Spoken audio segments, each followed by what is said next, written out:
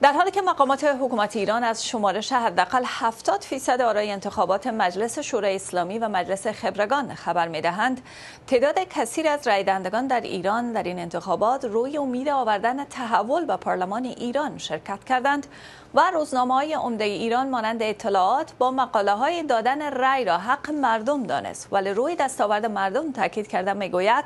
که حق مردم نیست که یک سوم آنان زیر خط فقر زندگی کنند و ایران هنوز ده میلیون بی سواد داشته باشد. برای شرح بیشتر دستاورد انتخابات برای ایران و تاثیر آن به طور کل بر منطقه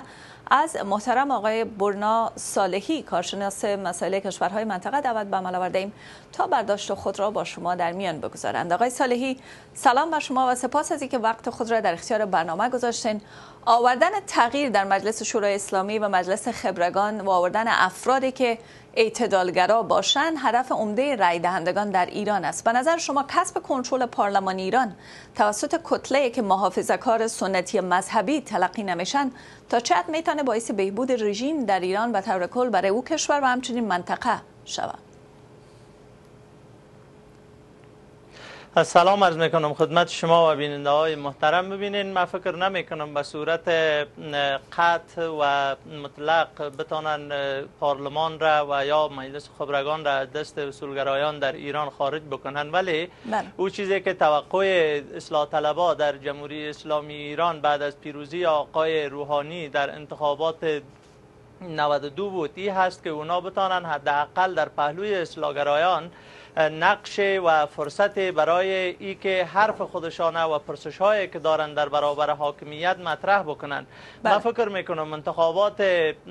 دیروز در ایران فرصتی بود برای اصلاح طلبان و به نحو هواداران ای طیف سیاسی در جمهوری اسلامی ایران که اونا دوباره بعد از یک بله. مدت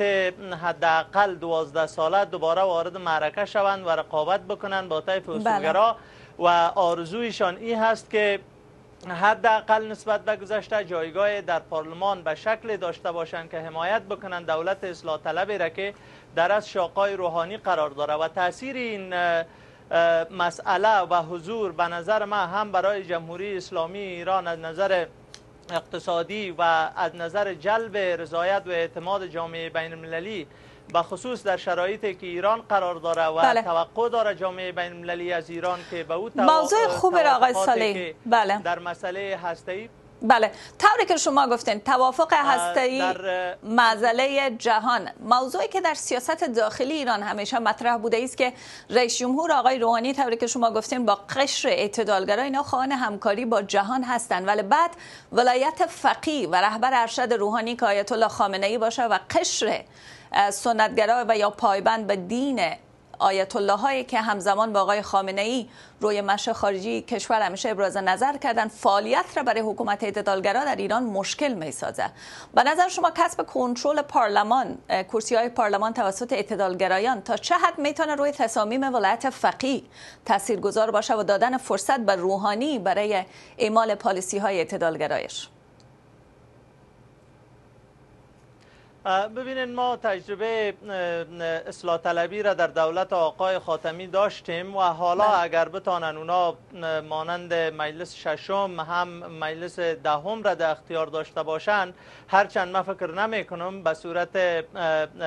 یعنی نسبت با یک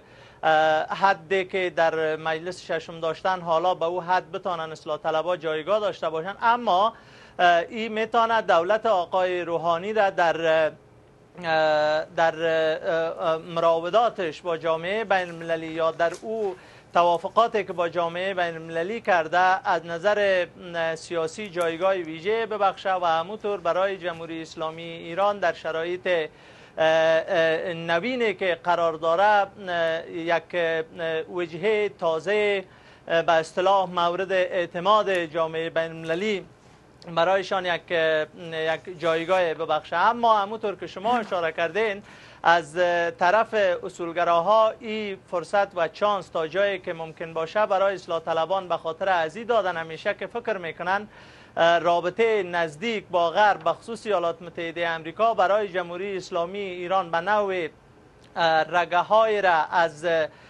نفوذ و مداخله در امور سیاست های داخلی دولت آقای روحانی و بعد هم در کل دستگاه نظام جمهوری اسلامی ایران باز می‌کنه. بله با اون نسبت من فکر می‌کنم در مرحله بعدی که مجلس دوم به وجود میآید ای دو جنا به صورت متوازن و همسط با هم پیش خواهند رفت. ممنون. و سپاس از شرحی که در قبال موضوع برای بیننده را دادن آقای سالی وزی که دعوت ما را به برنامه پذیرفتین. تشکر از شما.